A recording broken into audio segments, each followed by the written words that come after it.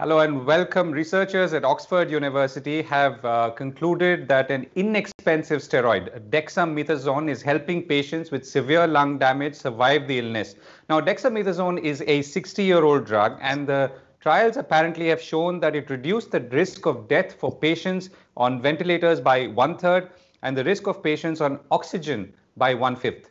So the question is, is dexamethasone that wonder drug that we've been waiting for? And if so, uh, or if not, uh, what are the lessons that we can take away at this point, given our own experience in India dealing with COVID for the last 90 days? To discuss this, I'm joined by Dr. Behram Pardiwala, internal medicine expert at uh, Wockhardt Hospitals. Dr. Pardiwala, thank you very much for joining us. Uh, your first reaction to this uh, new finding that dexamethasone is actually helping patients who are in critical care? Thank you for asking me to talk to you. One thing you must understand is dexamethasone is a steroid, as you mentioned. There are various classes of steroids. This is one of the steroids. Now, the press always seems to, you know, think that every next drug is a new discovery. It's going to do wonders in this fight against COVID. It's not like that. Initially, the Americans were extremely reluctant to use steroids. And they said, in fact, that it causes positive harm. And the guidelines initially used to say that it should be banned from use as far as COVID was concerned.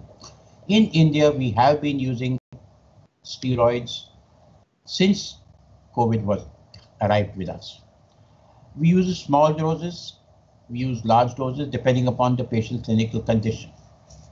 If you remember, there was this great hullabaloo about biopsy, uh, sorry, autopsies in these patients showing changes in the lungs suggestive of a coagulation disorder, blood clots, etc.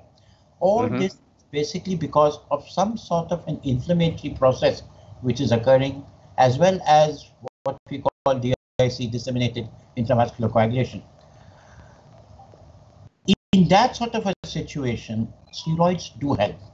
And where you have these patients who come in requiring high doses of oxygen, 8 liters, 12 liters per minute, and you have these patches in the lungs and you can see them even in the CT scan. Some of these patients, when given steroids, improve remarkably. And in fact, we try and give it early on because the earlier you give it, the more effective it seems to be, like in any drug, in any disease hit hard, hit fast. That's the idea. So from that point of view, yes, it's an excellent drug and we have been using it right from the beginning. In our hospital, our intensivist, Dr. Kedar Toraskar, who is also part of the, the team at, to advise the state government, has suggested that we use initially Solu-Medrol, which is methylprednisolone, as an injection.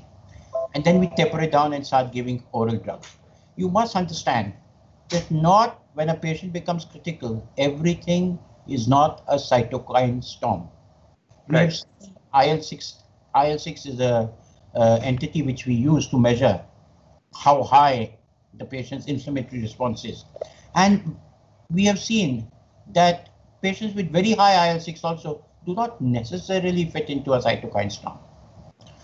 However, one must understand that when you use it, it is a double-edged sword. Because if you have an infection existing inside you, it can flare up with steroids.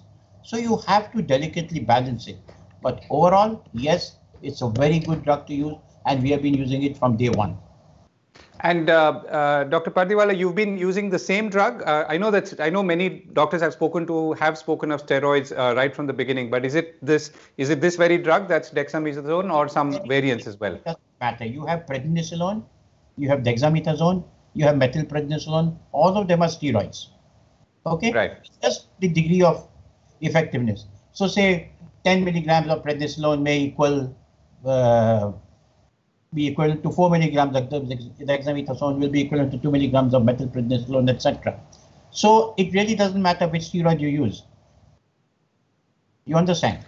If, right. for example, if, if uh, how shall I explain to you? It's like trying to use a generic version of of uh, uh, terramycin or tetracycline, which is called differently. So Understood. from to yes. Right. So uh, amongst the patients, I mean, uh, is it are the patients who you've been administering with this drug or your colleagues have been administering, have they been mostly uh, older or is it is it something? I mean, I'm also asking this question today, which may be a may be a little different from, let's say, uh, a, the similar a similar question posed about 60 days ago. What was exactly the question? So my question is: uh, Is the uh, is the drug being administered mostly to older people, younger people? Are there any common uh, factors amongst? Uh, I think I think we are using it in those patients who are critically ill, where we feel that they, uh, you know, severe coughing, low saturations, high demand of oxygen, yes, high CRP levels, yes, not sky high levels of uh, IL-6.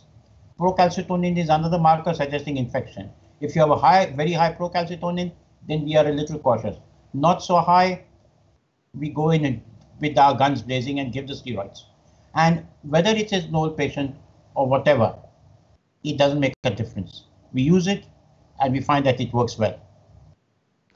Right. So uh, let me put the question a little, uh, or rather, let me add something to that question. So, uh, how are you seeing uh, cases today? I mean, between the last time I spoke to you and today, the number of cases have obviously risen quite uh, sharply in the in the city. So, uh, how are you seeing the flow and the treatment efforts? Right.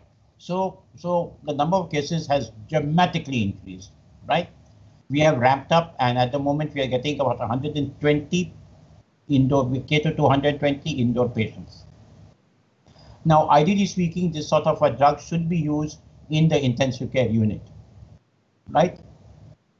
Our intensive care unit can accommodate 31 critically ill patients, quite a few on the ventilator, etc. So obviously, there is a backflow out into the wards. In the intensive care unit, my colleague Dr. Toraskar looks after outside, I look after. So therefore, we have been forced by circumstances to start using it outside also that is where my familiarity with the drug comes in. And we have found, you know, we discussed between ourselves with our intensive care colleagues, and we have found that if whatever sort of patient it is, we're getting more ill patients now, right? Because people are realizing that if you have, if you're COVID positive, it really doesn't matter. You can do quarantine at home. You can do anything. That is what, in fact, the Municipal Corporation is telling us to do. So we are getting the patients who are more ill. And that is why we are using this drug more and more. Initially, if we were using right. it 10% of patients, we're almost using it 50% now. Right. Uh, and and uh, you know, I also read that uh, this was a banned substance in the sporting context. Does that mean anything at all for treating COVID or uh, the world that you're in? Actually, actually, actually, what you are talking about are anabolic steroids. Those are mm-hmm. the steroids which build muscle. Those are totally different from these steroids. Okay.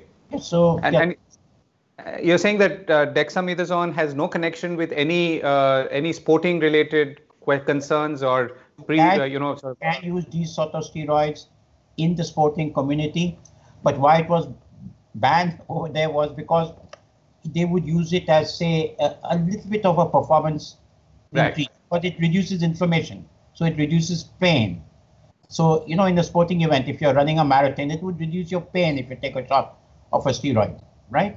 right. Of this sort of a steroid. Now, it, in our situation, it, it hardly matters. Right. They're using it for, for performance enhancements. We want performance enhancement. We want the patient to right. Right. Uh, a, a, general question, uh, Dr. Pardiwala, not specifically linked to dexamethasone. Uh, how are you seeing the overall uh, flow of patients today? I mean, uh, what is your sense of success uh, in terms of those who are getting cured or those who are you are uh, managing to bring back from uh, critical care levels?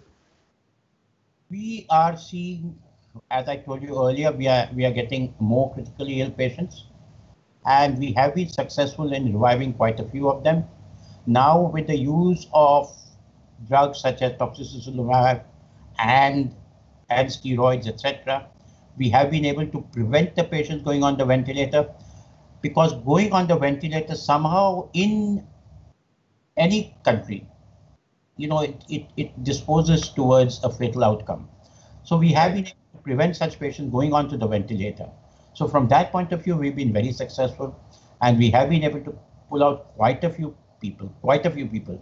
We are getting the older patients now.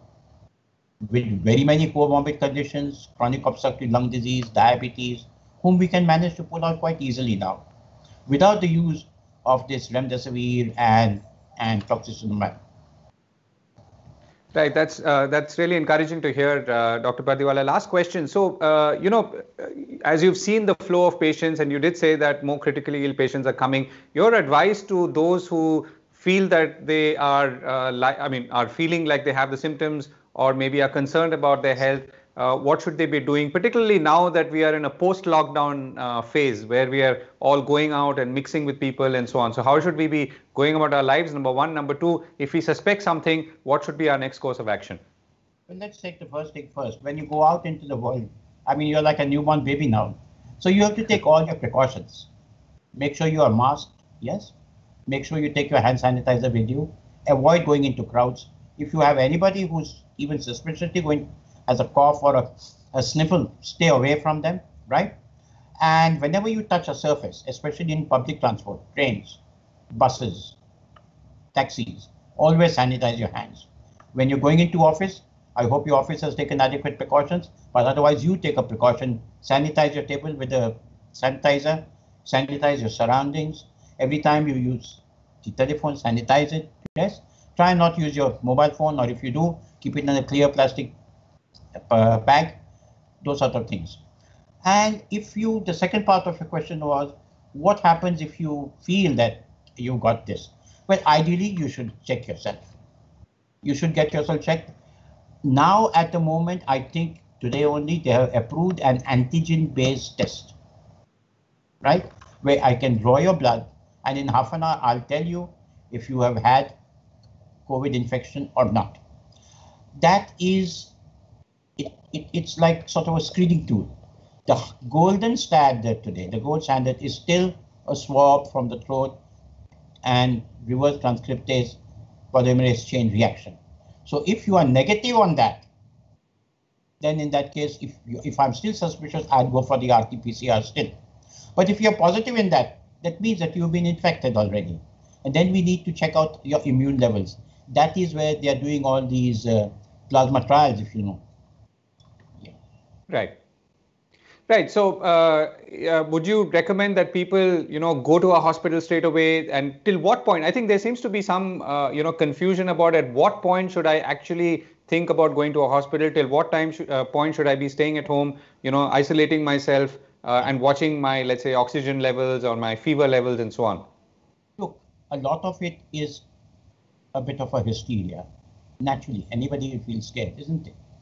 And lot of people can conjecture and get all sorts of symptoms, right? So it is better that you consult a doctor, let him figure out whether your symptoms are actually worthy of doing a test. If you have no fever, if you're just complaining of a little shortness of breath and your saturation is 95%, 96%, a normal COPD patient will have 93, 94%.